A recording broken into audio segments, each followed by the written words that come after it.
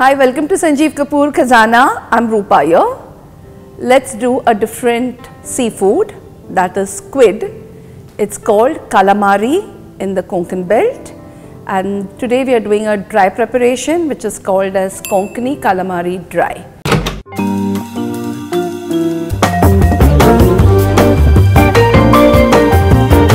So let's go ahead and look at the ingredients.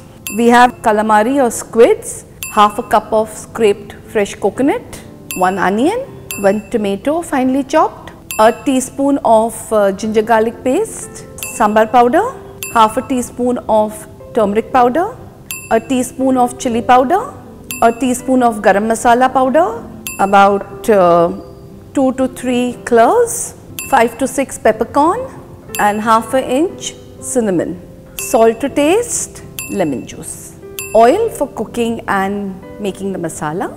Okay, so what we do is first we season the calamari. So add the turmeric and the salt and leave it aside. In the pan we have to make a masala. So take a pan, add the oil once the oil goes hot, add the cloves, the pepper, the cinnamon, add half the onion, saute till it goes light brown in color, add the coconut and again roast it till it goes brown in color.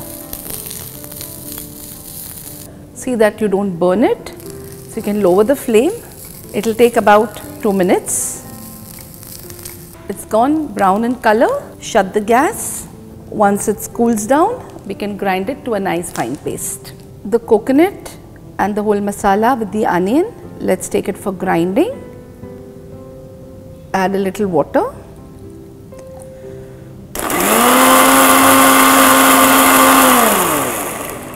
The masala is ground, it's got a nice flavor. I can smell the cloves and the pepper and the cinnamon. Let's keep it aside. Let's take a pan, put it on gas. You can take a shallow pan because it's a dry preparation. Once the oil goes hot, add the onions, saute, saute till it goes brown. Add the ginger garlic paste and saute. Lower the flame. Add the tomatoes, saute.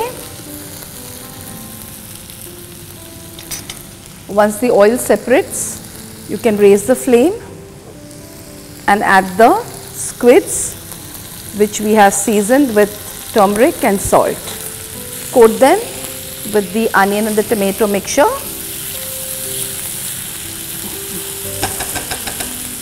Simmer and add the powdered masala that is the sambar powder, the chili powder and the garam masala saute. Sprinkle some water. As I said, it's a dry preparation. So just cover and cook for a minute or so. The squids turn opaque. As you can see, they've already started turning opaque. That's a sign that it is getting cooked. The squids are cooking for 2 minutes. As you saw, they've turned opaque. Add the ground masala give it a mix.